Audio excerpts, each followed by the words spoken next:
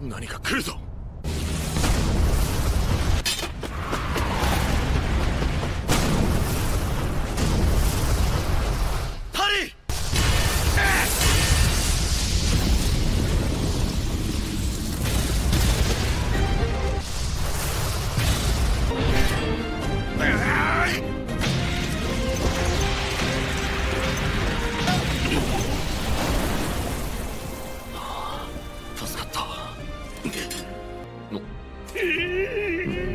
この金ピカ老人は。我々もやりたくてこんなことをするのではない。ハリー老人伏せてくれそれ以外にこの状況をどう解釈する。ハリ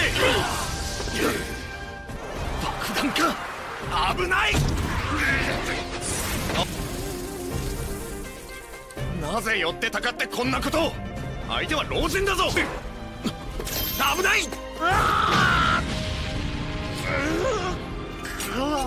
いずれ放っておいてもお迎えが来る年齢だ。